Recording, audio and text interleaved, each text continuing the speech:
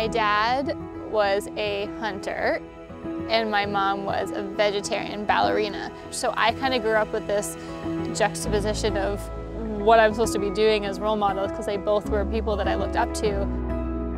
I'm very feminine, but I have this other side of me that loves being outdoors, loves getting dirty. I think Eva's been such a great example for a lot of young women and, and young girls who have an interest in the outdoors.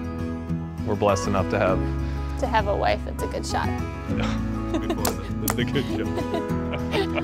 Look. You see that up there? I'm so happy to be where we are and living this outdoor lifestyle and try to spend as much time as a family as we can.